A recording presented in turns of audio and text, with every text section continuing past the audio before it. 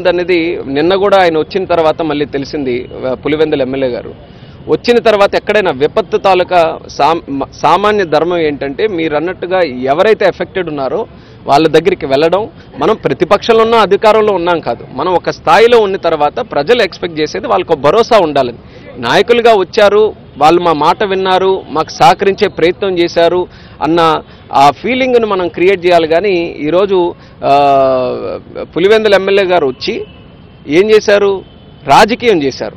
వచ్చి కెమెరాల ముందు ఐదు నిమిషాలు వివిధ రకాలైనటువంటి ఫేక్ ప్రాపగాండా సీఎం గారి ఇల్లు మీదకి బుడుమూరు అసలు బుడుమూరు దగ్గర గేట్లే లేనిది బుడుమేరు దగ్గర గేట్లు లేనివి గేట్లు ఎత్తారని ఎలా అంటారు? అలాగే అమరావతి మునిగిపోయిందని అమరావతి మీరు కూడా క్లారిఫై చేశారు ఈరోజు స్పష్టంగా పేపర్లో కూడా వచ్చింది. అది అందులో దాచడానికి ఏమీ లేదు. ఇప్పుడు కూడా ఎవరైనా వాళ్ళ నాయకులు వెళ్ళి చూసినా సరే స్పష్టంగా తెలుస్తుంది. అంటే అంత స్పష్టంగా కనబడే విషయాల్లో కూడా విషం చిమ్ముతూ రాజకీయాలు చేస్తూ దుష్ప్రచారం చేస్తూ ప్రజల్లో అంటే చాలా మందికి ఇక్కడ కనెక్టివిటీ ఉండదు. చాలా మందికి ఏం జరుగుతుందో తెలియదు కాబట్టి వాళ్ళలో భయభ్రాంతులు సృష్టించుదాం.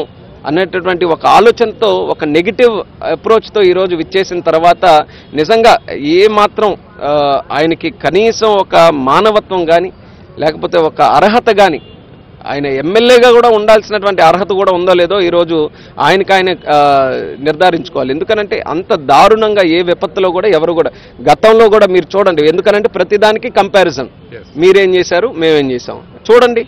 చంద్రబాబు నాయుడు గారు కూడా గతంలో గోదావరి జిల్లాలో వరదలు వచ్చినా రాయలసీమలో వరదలు వచ్చినా ముందుగా వెళ్ళి ప్రజల దగ్గరికి కలిసి వాళ్ళకి భరోసా ఇచ్చి ఎన్టీఆర్ ట్రస్ట్ నుంచో మన తెలుగుదేశం పార్టీ నాయకులు లేకపోతే కార్యకర్తలు అందరికీ కూడా మీరు కూడా చర్యల్లో పాల్గొనండి.